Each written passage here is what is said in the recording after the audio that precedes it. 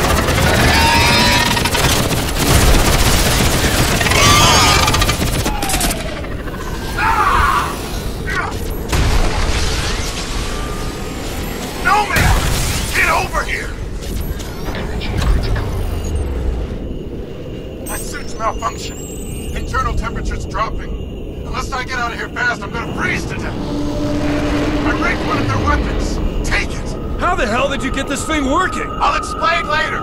We need to regroup. Go back in. Not until we get you fixed up. I'm taking cover. My suit's not gonna hold out much longer. Hang on, Prophet. I'll get us out of here.